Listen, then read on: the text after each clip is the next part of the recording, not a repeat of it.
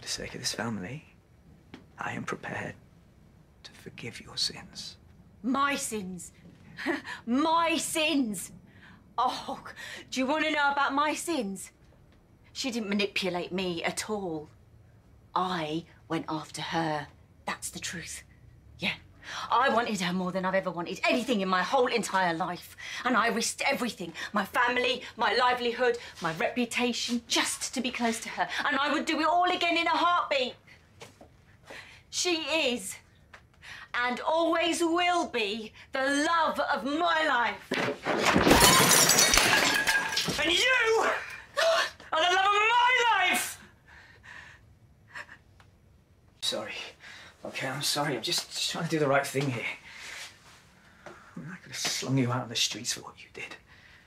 When I found out about your affair, I could have taken the house, the business. I could have destroyed you. How did you even find out? It doesn't matter. It doesn't matter. What matters is I forgive you. Because you're such a good person. One mistake. One moment of jealous madness, and it's haunted me forever. You killed man. Because he was sleeping with my wife! I mean, he was, wasn't he? You were! You've denied it all these years, but now I know what you really like. It all makes sense.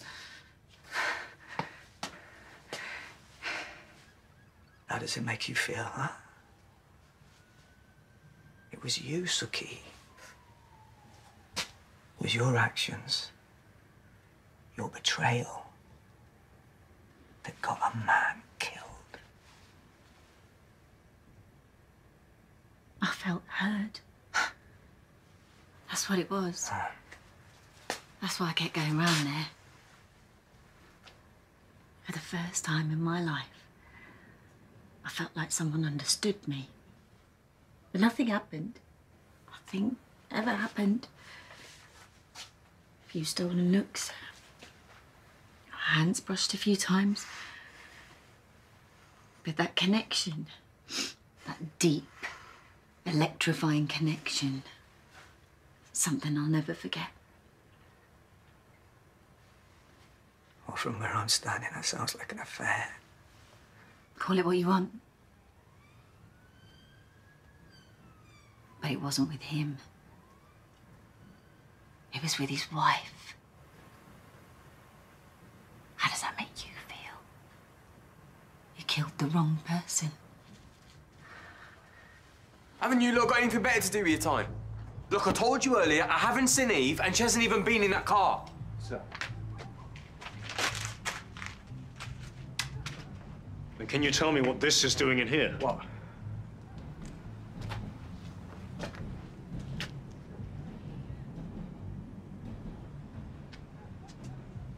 Someone set me up. Tell me, what did you do to her? I didn't do anything. Would you blame me? She turned my wife She into a... She didn't turn me. She woke me up to who I was. And now that she has, I can't ever go back, Nish. And, and, and no amount of shouting or screaming is ever going to change that. You know, when she touched me, and she looked at me, when she was so close I could hear her breathing,